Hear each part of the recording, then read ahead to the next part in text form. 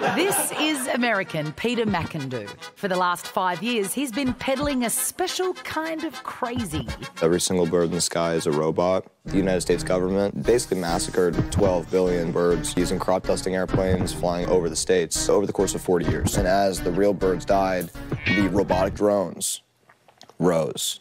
That's right, all birds are dead, and surveillance drones replace them. We believe they're charging on power lines. At first glance, the theory and Peter seem insane. How do you feel about seagulls? Uh, I don't trust them. But there's a method to his madness. Birds are real! Birds are real! Peter first got the idea in 2017 to combat the rise in online misinformation by countering it with the craziest conspiracy he could dream up. It was just the most absurd thing I could think of. But his theory caught on.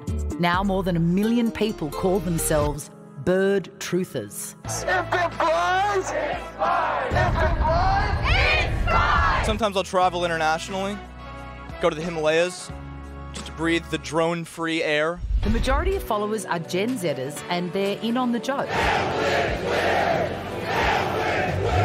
Peter stayed in character for all public appearances to further the cause. I'm part of a movement that believes every bird is a government surveillance drone. I mean, you don't really believe that that happened, correct?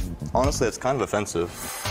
But now, he and his mates are coming clean, revealing it's for a greater purpose. It's taking this concept of misinformation and almost building a little safe space to come together within it and laugh at it rather than be scared by it. You've been lying to us, so we're gonna lie to you back. Fighting lunacy with lunacy. It hasn't made them fat stacks of cash, We, we have shirts on our website. but there's talk of books and maybe a birds aren't real movie. Oh, don't don't thank me. I'm just doing my job. And you could always choose to follow the flock and believe in drone birds yourself. Birds are real! Birds are real! I'm never going to look at a bird again. The same Well, way. I was a bit confused because I was like, this is ridiculous. And then you think, birds charging themselves on power lines makes complete sense. and I might be a bird truther, to be honest. That Although there's some is interesting. true. Yeah. And also, I mean, obviously it's ridiculous, but have you really looked at an owl's face? Mm, yeah, I'm sus. I'm sus on owls. They've got all their face right in the front. Exactly. What do you mean? What's that got to do with anything? Because our, our faces are. We're how out. Their faces are like our faces, whereas a, a standard bird has the decency to have a beak and eyes on either side. An owl has a face on its I thought the in bloke the in the US was odd.